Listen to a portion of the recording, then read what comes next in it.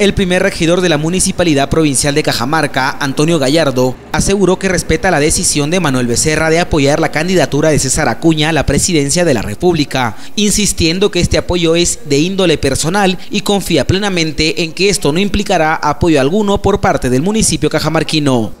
Mire, yo creo que toda persona de manera individual y particular tiene que tener una opción política.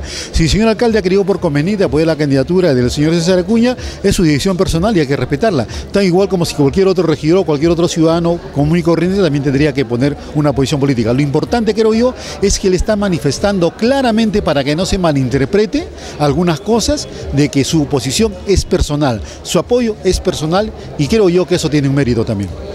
En otro momento, Gallardo Silva sostuvo que no solo Becerra, sino todos los funcionarios ediles son libres de apostar por cualquier opción política de cara a las elecciones presidenciales. No obstante, él mismo y a título personal apoyará la candidatura presidencial de Keiko Fujimori.